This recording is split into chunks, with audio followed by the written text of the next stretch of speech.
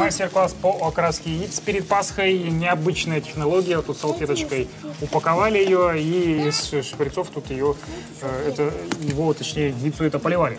Так, что у нас дальше там на очереди? У нас Дальше вот трава тут мы должны появилась. это все красиво подать, правильно?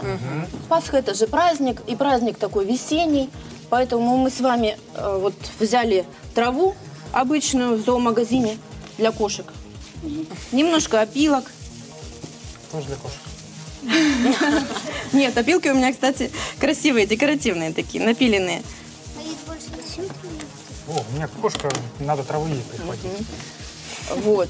Делаем такое красивое, пышное гнездо.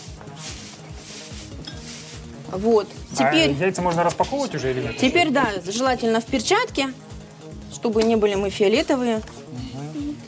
Разноцветные. раскрываем Да. наши... Распечатываем. У меня вот оранжевое яйцо какое-то получилось.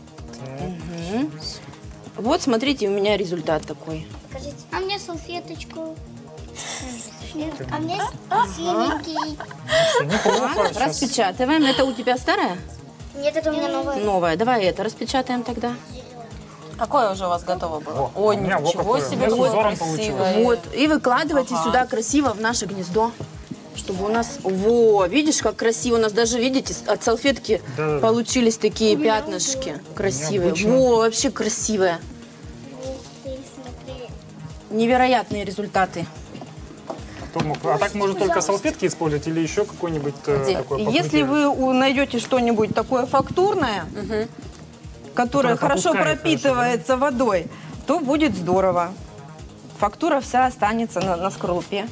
Слушайте, ну очень красиво. Во-первых, я действительно не знал о таком способе окраски и как-то получается очень красиво, вот именно благодаря этой фактуре и благодаря тому, что можно... Я всегда думал, как так Вот, можно смотрите. смешать, чтобы вот э, не было этих перекрестных этих цветов, когда там реально превращается в коричневый какой-то цвет. А вот оказывается, как можно легко и просто сделать. А мне, пожалуйста, зеленый. Ой, синий. Слушайте, ну отлично. Девочки, ну-ка скажите, понравилось вам? Да. Очень. Дома мам научите? Я бонусом могу вам еще рассказать, как сделать подставку.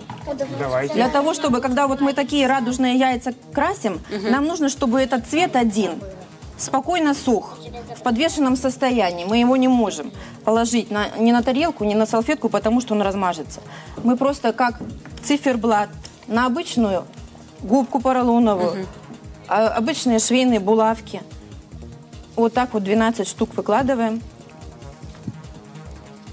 И как раз это вот э, и пачкать ничего не будет. И пачкать ничего не и- будет. и отлично. Если губка не новая, она будет хорошо впитывать. И ничего даже не накапает. И мы вот просто вот если окунули в синий краситель, потом сюда ставим, две минуты держим, делаем следующий наш этап окраски. И вот так вот. Обычный домашний способ. Как Иголки. просто и, в общем, эффективно. И все это дело, насколько красиво у нас получилось. Я реально в восторге и восхищении здорово, вот этих всех здорово, да. вот этих фактурных моментов, э, которые на яйце остаются, очень красиво получается. Вот смотрите, тут даже складочки такие образовались, и э, новый цвет, там, новая фактура. Спасибо вам большое за просвещение Спасибо нас. большое. Ну и девочкам спасибо за участие. Учите, делайте красоту дома.